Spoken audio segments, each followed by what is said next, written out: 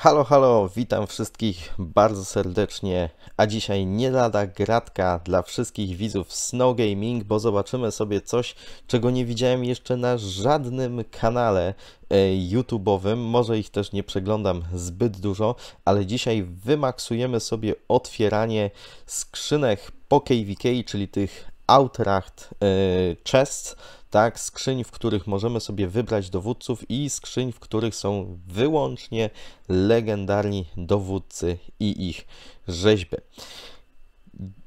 Ja się nazywam Snow i jeśli taki kontent Wam się podoba, to zachęcam do subskrybowania tego kanału. Dajcie też lajka, jeżeli e, to Wam się podoba, bo tutaj naprawdę wielkie dzięki i dajcie tego lajka dla Storma, bo to jest osoba, która udostępniła mi ten materiał i bez niego tego materiału by nie było, a myślę, że on będzie naprawdę bardzo, bardzo cenny. Jest to coś, czego ja bym na swoim głównym koncie nigdy nie zrobił, ba, na swoim koncie farmy też nie zrobiłbym tego ze względu na to, że nie mam nawet tylu klejnotów na farmach, żeby to zrobić, nawet gdybym chciał. Także naprawdę pod pewnymi względami jest to niepowtarzalny content i mam nadzieję, że będzie się Wam podobał i myślę, że każdy będzie chciał zobaczyć, jak to wygląda, żeby właśnie zdecydować dla siebie, czy chcecie w to iść, czy nie chcecie w to iść. E, także naprawdę zachęcam do oglądania. Zanim zaczniemy, e, to taki, że tak powiem, trochę background tutaj dam. Jeszcze raz wielkie ukłony i wielkie dzięki dla Storma, który jest osobą, która rzeczywiście otwiera te skrzynie i nagrał ten materiał, który za chwilę zobaczymy. To, co się dowiedziałem od niego, to, że konto, na którym otwiera skrzynię, jest to konto, na którym klejnoty nie mają znaczenia. Kiedy to powiedział, myślałem, że to będzie, wiecie, wieloryb, który ma na przykład 3 miliony klejnotów i dla niego tam wydanie 100 tysięcy. To jest żaden problem, ale nie wiem, czy to jest właśnie takie konto główne jakiegoś naprawdę dużego gracza, czy to jest na przykład konto farma takiego dużego gracza.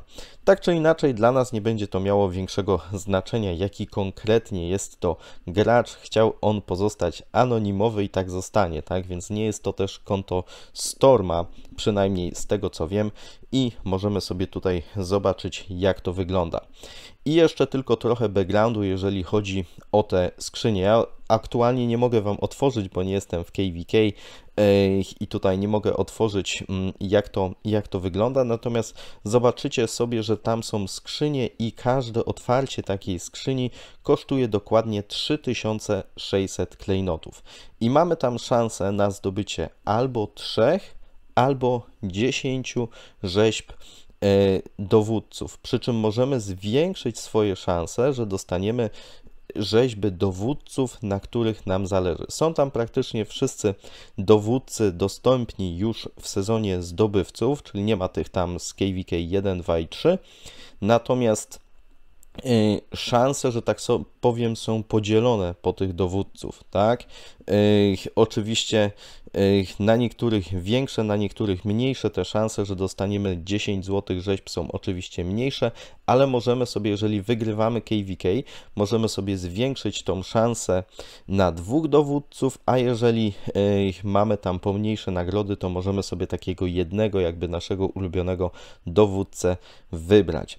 Z tego co pamiętam, możliwości otwierania tych skrzyń też są ograniczone zależnością jakby miejscem, które będziemy zajmować na KVK. Tutaj tych, tych od tego otwierania skrzyni będzie naprawdę sporo, bo w sumie zostanie wydane 1008 e, klejnotów, także zobaczycie ile tam będzie e, tych wszystkich rzeźb. Oczywiście jest to dobry pomysł, jeśli chcemy odblokować dużą ilość y, dowódców, ale może najpierw zobaczmy sobie materiał z otwierania, a później zrobimy sobie takie podsumowanie i powiem Wam, których rzeźb, ile ta osoba dostała i jak to konkretnie wyglądało. Ok, no to do dzieła. Zobaczmy ten materiał, o którym mówiłem. Widzimy tutaj, jakich dowódców mamy do wyboru. Są to naprawdę w większości bardzo dobrzy dowódcy, tak? Także tutaj widzimy, że są to dowódcy e, z sezonu podbojów.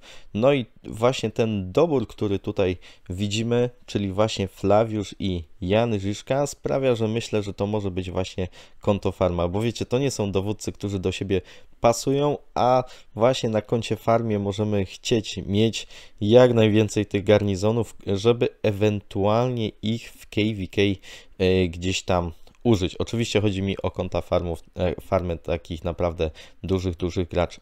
No i zaczynamy. Mamy tutaj e, Gilgamesha. Tutaj widzimy, że ktoś już miał te rzeźby Gilgamesha i podobnie Jadwigi, także podejrzewam, że skoro już ktoś te rzeźby ma, to jest zadowolony. I podobnie jeśli chodzi o Hondę, widzieliśmy, że jest tutaj ich dużo i znowu Jadwiga i Herakliusz, który też jest w porządku do garnizonu, więc myślę, że ktoś jest zadowolony, Joan, no i Bodika. I tutaj jeżeli ich jest mało, to jest możliwość, że ktoś już ma wymaksowane te postaci. No i Flawiusz, pierwsze przywołanie, czyli 10, tutaj mamy 3 Babura, Gilgamesz, Sulejman, no leci to dosyć szybko, tak, Newski, Sypio, e, Jan czyli to ten chciany, Jadwiga, no i tutaj jedziemy dalej. Jan Żiszka, przywołanie 10, 10 rzeźb, także naprawdę e, całkiem w porządku. Joan e, też mamy 3 i przywołanie Amanitore, tak, czyli odblokowanie tego dowódcy. Mamy też e, znowu Flawiusza, Newski. Nie wiem, czy Newski tutaj nie jest wymaksowany na tym koncie i podobnie Scipio i Joan. Nie jestem w stanie tego stwierdzić. Tu mamy Henry'ego, który na pewno do przywołania jeszcze jest. E, Sulejman bardzo podobnie. E, mamy tutaj informację ile na 10, jeżeli jakiś dowódca, że tak powiem, jeszcze jest nieprzywołany. E, tutaj Babur i kolejny Flawiusz 10 rzeźb, czyli to, czego byśmy najbardziej sobie życzyli.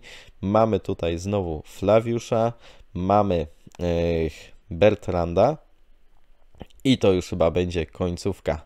Zobaczymy jeszcze, jakie były możliwości tutaj doboru, tak, jakie prawdopodobieństwo jest, że właśnie trafimy. Ok, to teraz czas na podsumowanie. Więc uwaga, uwaga.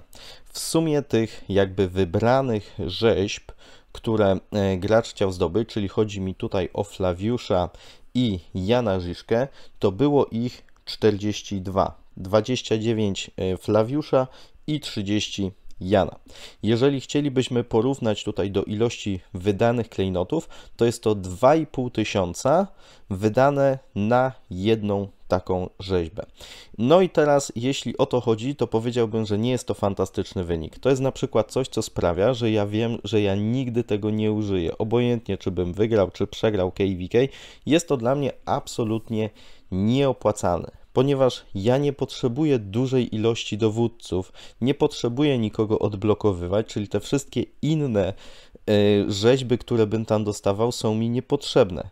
Natomiast 2,5 tysiąca za jedną rzeźbę to jest naprawdę sporo, tak? Ja mogę sobie teraz wykupić 30 rzeźb i każda będzie mnie kosztowała 1000 e, tutaj na przykład na tym wiosennym evencie i nawet kręcenie kołem będzie dla mnie o wiele, wiele bardziej opłacalne niż właśnie e, te skrzynie z Outrach, tak? Ponieważ na kole nie dość, że dostanę więcej rzeźb, nawet tych gwarantowanych, a jak będę miał szczęście, to już w ogóle wyjdzie, wyjdę na tym 100 razy lepiej, ale oprócz tego dostanę jeszcze surowce, dostanę przyspieszenia, dostanę różne inne nagrody, których tam w ogóle nie dostaję. Dostaję co prawda inne złote rzeźby, ale większość dla mnie jest bezużyteczna, więc wiecie, wolę już przyspieszenia niż bezużyteczne rzeźby. Natomiast jeżeli pójdziemy sobie trochę dalej, to oprócz tych 42, że tak powiem, które byśmy chcieli, do, yy, mamy tutaj jeszcze 45 yy, rzeźb, takich powiedziałbym użytecznych, czyli dowódców, którzy są użyteczni, dobrzy, czyli na przykład takich jak Scipio, takich jak, nie wiem, Henry, Jadwiga, Y, z tym, że właśnie y, tych dowódców tutaj dodatkowych chyba naliczyłem 7 czy 8 i tutaj jest pytanie, czy ktoś będzie rzeczywiście maksował tak dużo dowódców. Jeżeli to jest wieloryb, to oczywiście tak, no bo to będzie gracz, który będzie chciał mieć jakby wszystkich dowódców przywołanych, wymaksowanych. Jeśli to jest farma wieloryba, to też tak, bo może sobie stwierdzić, że ok, teraz nasze królestwo potrzebuje tego dowódcę, to ja sobie go po prostu wymaksowuję, bo jest taka potrzeba, tak, a mam dużo tam złotych rzeźb i w tym sensie jak najbardziej są to dowódcy przydatni. Natomiast dla wielu graczy może się okazać, że e, z tych 45 kolejnych rzeźb, które tutaj zostały wylosowane, się okaże, że większość z nich będzie bezużytecznych. Tak jak Wam powiedziałem, jak ja bym miał wybrać dwóch legendarnych, to w zasadzie wszystkie pozostałe byłyby dla mnie bezużyteczne. Zostało jeszcze 21 rzeźb, które uważam, że są po prostu bezużyteczne. To są rzeźby, wiecie, Babura, Sulejmana i na przykład Amanitore, która myślę, że ani nie jest jakaś taka super w polu, ani nie jest używana praktycznie w garnizonie, więc też Amanitore tutaj zaliczyłem e, do tej ostatniej kategorii. No nie wiem, może się jeszcze coś zmieni w tym garnizonie łuczników, ale na ten moment wydaje mi się, że to są e, rzeźby, które są nieprzydatne. I tak, w sumie za 108 tysięcy klejnotów yy, otrzymaliśmy, uwaga, uwaga, 108 złotych rzeźb. Więc pod tym względem, jeżeli, potrzeb, jeżeli byśmy powiedzieli, że każda złota rzeźba jest cenna, no to wtedy spoko, bo mamy jedną złotą rzeźbę za 1000 klejnotów i to oczywiście, że tak powiem, jest dobry deal. Natomiast, no tak jak mówię, nie do końca. Jeżeli policzymy tylko te, które chcieliśmy i tych powiedzmy dobrych dowódców, to wtedy mamy tych złotych rzeźb 87 i średnio wychodzi 1200 na złotą rzeźbę, co i tak jest dobrym wyborem, no bo tych złotych rzeźb ogólnie dostajemy bardzo dużo. Oczywiście, jeżeli jesteśmy wielorybami, no to to jest wszystko piękne i fajne, bo dostajemy złotych rzeźb i wiecie, granie takiego zwykłego gracza, free to play albo nawet low spendera, takiego czy tam e, średniego, nie wiem jak, jak mnie nazwiecie, raczej low spendera, tak, czy tam nawet takich, którzy wydają trochę więcej, ale nie są wielorybami, e, to jest zupełnie co innego niż granie, e, wiecie, osób, które wydają naprawdę bardzo, bardzo duże pieniądze tutaj w grze i których określamy właśnie mianem e, tych wielorybów. Oni naprawdę dla nich wszystkie złote rzeźby są cenne, bo oni po prostu chcą jak najwięcej w każdej możliwości. Dlatego tutaj musimy przyjąć trochę, że dla niektórych graczy to będzie naprawdę świetne wydarzenie, mimo że dla większości graczy ono będzie takie sobie, albo na przykład dla takich graczy jak ja wręcz słabe. E, bo trudno też sobie wyobrazić, że na przykład ktoś jest w sezonie zdobywców i nie ma wymaksowanych tam, nie wiem, 5, 6 tych dowódców z sezonu zdobywców, tak? Także jak ja mam tych, co potrzebuję, mam wymaksowanych, więc nie potrzebuję ich złotych rzeźb. Gdybym ja dostał, wiecie, złote rzeźby Henry'ego, Newskiego, Gilgamesha, no to dla mnie to jest wszystko psu na budę, bo ja ich mam wymaksowanych, więc po co mi te złote rzeźby? Także tak wygląda podsumowanie. Jeszcze chciałem powiedzieć, że w tych innych wydarzeniach, czy na przykład jak na kole kręcimy, to mamy też dodatkowe nagrody, tak? Przyspieszenia, surowce, to o czym mówiłem już trochę wcześniej. Tutaj są tylko i wyłącznie złote rzeźby, no ale jest ich bardzo dużo. A jakie jest Wasze zdanie? Co Wy myślicie na ten temat? Czy gdybyście mieli możliwość, to otwieralibyście właśnie e, te skrzynie, żeby zdobyć jak najwięcej tych złotych rzeźb? Czy sami otwieraliście? Bo ja na przykład, kiedy miałem opcję, nie otworzyłem ani jednej takiej skrzyni. E, także jestem ciekawy, jakie jest Wasze podejście do tematu i co planujecie. A na dzisiaj to już wszystko. Jeszcze raz ogromne dzięki dla Storma. I jeżeli mielibyście jakieś takie naprawdę ciekawe materiały, to chętnie je zobaczę. Możecie mi je wysłać na Discordzie. Myślę, że to jest bardzo fajny pomysł, bo wiecie, ja nie wszystko jestem w stanie tutaj w tej grze zrobić, szczególnie takie rzeczy. Natomiast też wiele innych, myślę, może być ciekawych, o których można by powiedzieć. Także jeżeli jesteście zainteresowani, to proszę bardzo. Ja nie obiecuję, mam nadzieję, że to nie będzie jakiś, wiecie, że nie zalejecie mnie tymi filmikami, myślę, że nie. Natomiast chętnie obejrzę, postaram się na tyle, ile jestem w stanie i może e, też zobaczymy właśnie jakiś ciekawy film podesłany przez Was. To tyle, dzięki i do usłyszenia, trzymajcie się, cześć.